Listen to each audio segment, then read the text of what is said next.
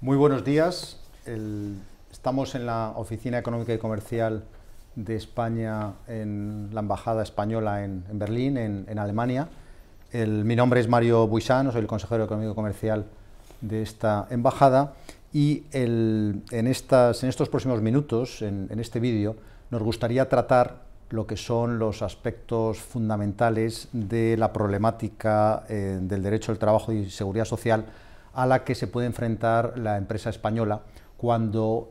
va a hacer negocios en, Alemania, tanto desde un punto de vista comercial como también desde un punto de vista de implantación con objetivo de, inversión, es decir, lo que sería la problemática laboral a la que se enfrenta la empresa española cuando se quiere internacionalizar en Alemania. El objetivo es eh, que sea eh, insistir en aquellos aspectos, sobre todo prácticos, eh, donde, mm, de acuerdo con la experiencia de nuestros expertos, la empresa española pues está teniendo más dificultades para entender las diferencias y también al mismo tiempo centrarnos precisamente en esas diferencias entre el derecho alemán por un lado y el derecho español laboral y de seguridad social por otro lado. El, objetivo es eh, ir tratando mm, de forma eh, dinámica eh, las diversas situaciones a las que debe enfrentar la empresa española, em, yendo en primer lugar de aquellas situaciones o lazos que suponen menos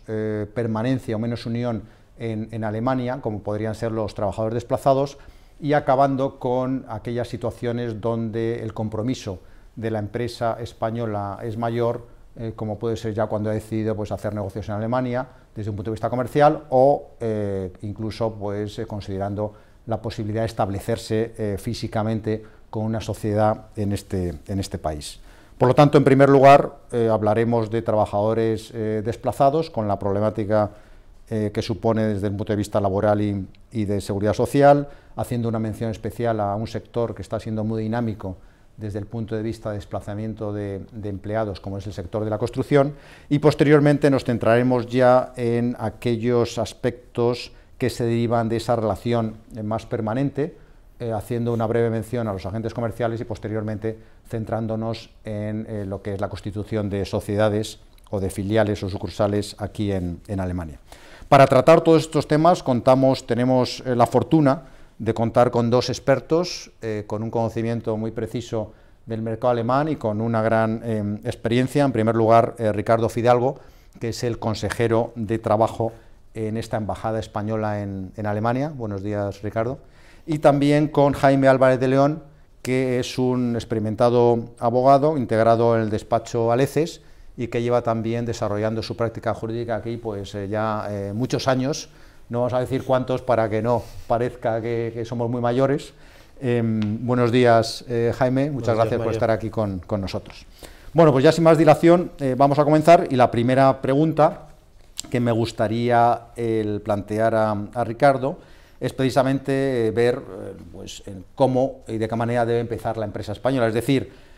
cuáles serían los principales trámites laborales y sociales a los que se enfrenta o tiene que realizar una empresa española cuando desplaza su trabajador o sus trabajadores a Alemania?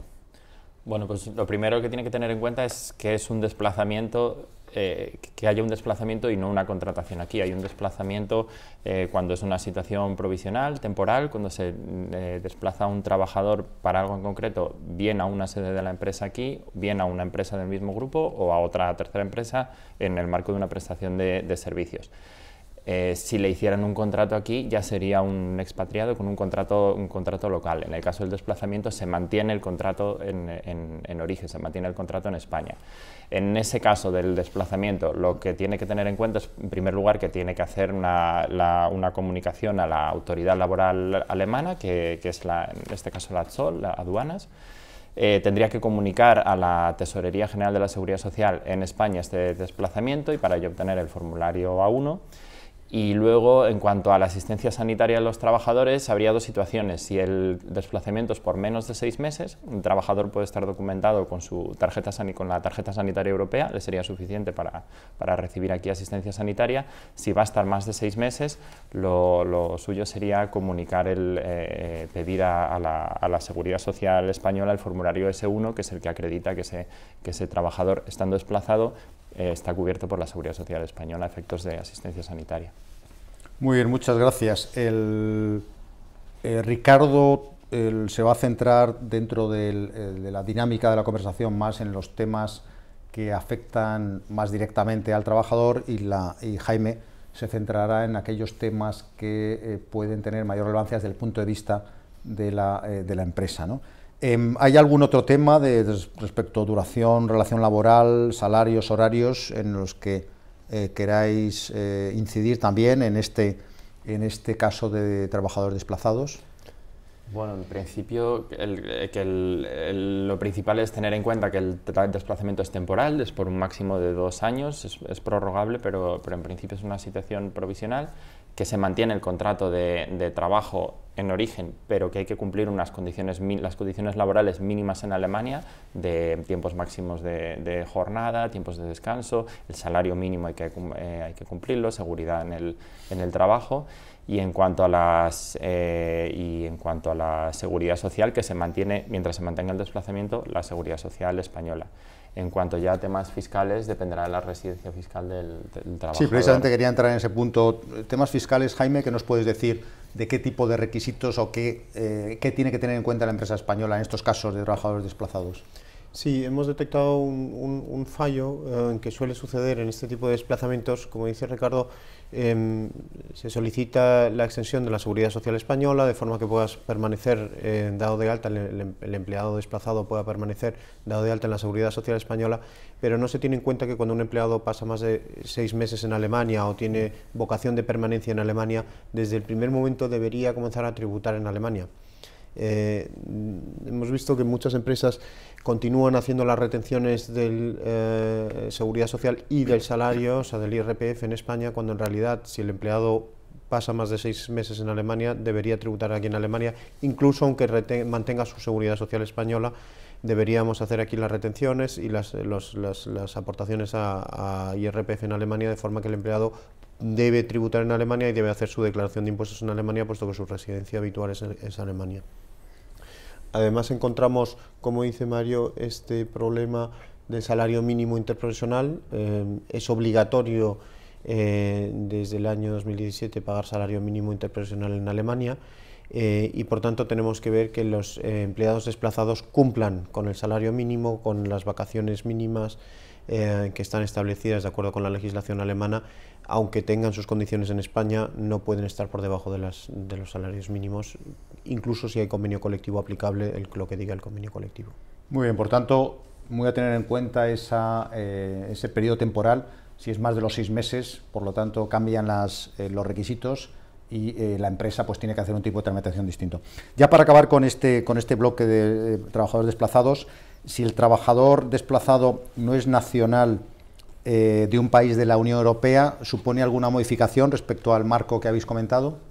Eh, sí, claro, los, ciudadanos, si el trabajador es un ciudadano español de la Unión Europea, del espacio económico o de Suiza, tiene libertad de circulación, con lo cual, en principio, el desplazamiento tiene una regulación para efectos de, seguridad social y de, fiscal y laboral. Si el trabajador no, no, es nacional de uno de estos estados, tendrá que, tener, tendrá que estar autorizado para trabajar en Alemania. Eh, en ocasiones hay una confusión que es que tiene permiso de trabajo en España. En principio, como tal, el permiso de trabajo en España, como regla general, no le serviría para trabajar en, Alemania. Es verdad que hay algunos permisos que están, por así decirlo, armonizados en la, Unión Europea, la tarjeta azul, el, el, permiso ICT UE o la residencia a larga duración UE eh, es un tema muy complejo quizá para, entrar, pero el, consejo sería que, si se tenga en cuenta la nacionalidad del trabajador, si no es europeo, eh, habría que ver qué, permiso necesita para, para, trabajar en Alemania o si le serviría en algunos casos que son excepcionales el que tenga en España. Muy bien. Vamos a continuar eh, dentro, seguimos en este, con esta temática de los trabajadores desplazados, abordando un sector muy concreto que está siendo muy dinámico en, lo que son las relaciones económicas y comerciales entre España y Alemania. Me estoy refiriendo al sector de la construcción, puesto que tiene una serie de especificidades eh, muy determinadas.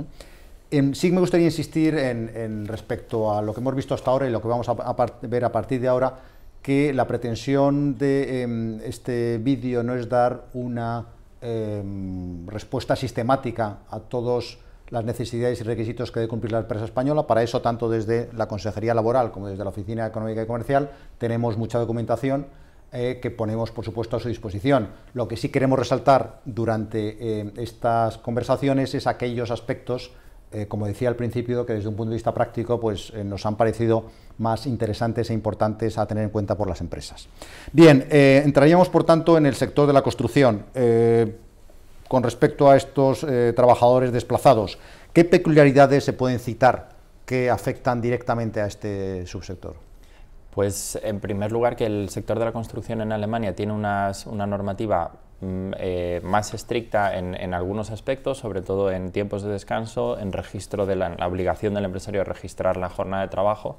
También tiene un salario mínimo eh, específico para el sector, de, de, aplicación general al sector y superior, que depende de la categoría del trabajador y es superior al salario mínimo interprofesional. Y en el caso de desplazamiento de, o sea, esas condiciones tendría que cumplirlas una empresa independientemente de que, de que, desplace, de que el trabajador mantenga un contrato en, en, España. Y en el caso de un desplazamiento de trabajador, eh, como siempre, hay que comunicar a la, a la ATSOL, a la Autoridad Laboral Alemana, el desplazamiento, pero además en este caso eh, esa comunicación tiene que ser mucho más detallada. Se hace a través de un portal de, de Internet que tiene unas instrucciones en, en castellano y, tienen que comunicar, eh, además del desplazamiento, eh, cuál es el proyecto para el que se desplaza trabajadores, la duración, cuántos trabajadores se, se desplazan, los datos de cada uno de ellos e incluso el, el, las funciones que van a hacer y la, el, lugar donde va a estar toda la documentación disponible para que una inspección de trabajo pudiera consultarla, que puede ser en España, pero tendría que estar también disponible aquí, nómina, registro de jornada y demás.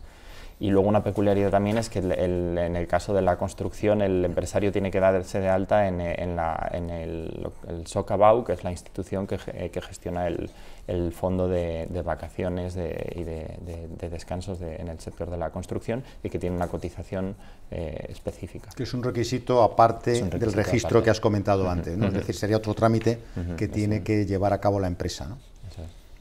Muy bien, eh, gracias. Y desde el punto de vista eh, tributario fiscal, Jaime, hay un, eh, un impuesto en, en, la fuente que parece que evidentemente pues que tiene que em, cumplimentarse, eh, pero bueno, ¿qué, ¿qué, especificidades o, características más especiales destacarías tú en, con este, en este sector de la construcción? Sí, bueno, en primer lugar, como ha dicho Ricardo, efectivamente tenemos el Convenio colectivo de obligado cumplimiento. En este caso hay que eh, ser muy riguroso porque suele haber inspecciones en cualquier obra y la documentación tiene que estar a pie de obra. O sea, es fundamental que eh, se cumpla con los requisitos formales. Tenemos que tener mucho cuidado de que se estén cumpliendo los salarios mínimos, los días de vacaciones, las horas, respetando las horas de descanso y demás. Eh, puesto que sí hay inspecciones y, la empresa española puede tener problemas si no, si no las cumple. Em, en cuanto a la imposición, efectivamente tenemos un impuesto, un impuesto específico para las empresas de la construcción.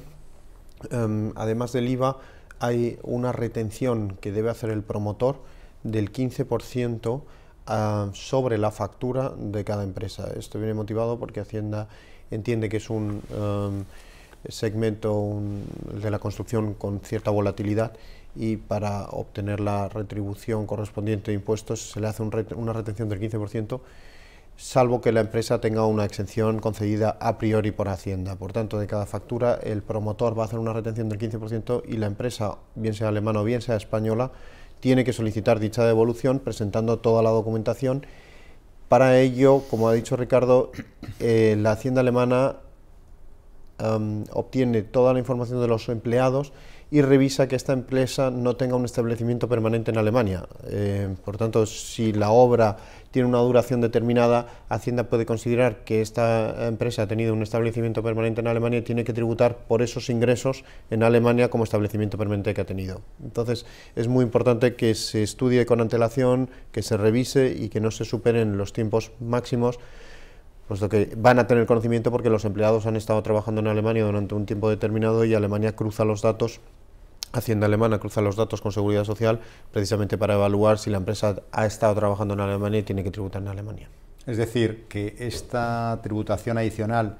eh, esta retención del 15% es independiente de que la empresa tenga un establecimiento permanente o no lo tenga en, Alemania. Precisamente lo que puede servir a la Hacienda alemana es para eh,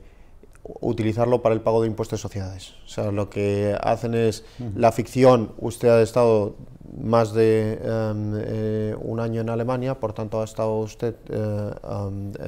obligado a tributar por impuestos de sociedades en Alemania como si hubiera tenido un establecimiento permanente y en ese caso aplican el 15% retención contra el impuesto de sociedades y es la, empresa española quien en principio ha pagado doble porque ya tributó en España por esa cantidad y va a tener que tributar en Alemania por esa cantidad y solicitar la devolución en España. Entonces es mejor desde un principio evaluarlo y hacerlo correctamente a posteriormente tener una doble tributación. Muy bien. Otro tema también que eh, vemos que se plantea con cierta frecuencia y un cierto desconocimiento es el de la titulación de los trabajadores desplazados. Es decir, en Alemania existen eh, unos requisitos eh, relativamente exigentes respecto a las certificaciones y titulaciones y, y esto se manifiesta de forma muy clara y muy relevante en este sector de la construcción. Mm, ¿Qué comentarios qué, tendrían que tener en cuenta las empresas que desplazan a sus trabajadores en el sector de la construcción respecto a la titulación de los mismos, necesidad de validar o no validar estas con alguna certificación? Eh, bueno, lo que, lo que tiene que tener en cuenta es que, la, que como has dicho, el mercado, de, el mercado de trabajo alemán en, esto en regulación de las profesiones es más rígido que el español. Eh, hay más profesiones reguladas, esto significa que para ejercerla un trabajador o un, o un autónomo eh, tiene que tener una titulación, eh, eh, o bien la titulación alemana o una titulación que se considere una experiencia que se considere equivalente y en ocasiones tiene que registrarse en la institución que, corresponda. Esto en la práctica en que se traduce en que para muchas profesiones, más de las que quizá un empresario o un autónomo que se va a establecer aquí tiene como referencia en España, para más profesiones le van a exigir que tenga la titulación o experiencia necesaria, eso supone un proceso de, bien de reconocimiento del título, que puede ser directamente de un título o de una experiencia profesional en España, que dependiendo de la profesión se hace ante una institución eh, u otra, y ese procedimiento tiene un coste, una duración y, a veces es complicada, entonces eh, es, uno de y es una de las cosas que más incidencias da en la práctica y en particular en el sector de la construcción, donde hay muchos muchas, eh, puestos de trabajo que requieren esta, esta titulación o experiencia. Muy bien, hemos visto entonces que en este caso del sector de la construcción se exigen requisitos adicionales a eh, los convencionales o normales respecto al resto de sectores desde el punto de vista laboral, desde el punto de vista impositivo y también haciendo una mención muy especial a la necesidad de eh, certificar estas titulaciones de los trabajadores españoles desplazados para que efectivamente pues, puedan eh, llevar a cabo sus tareas y sus labores aquí en Alemania.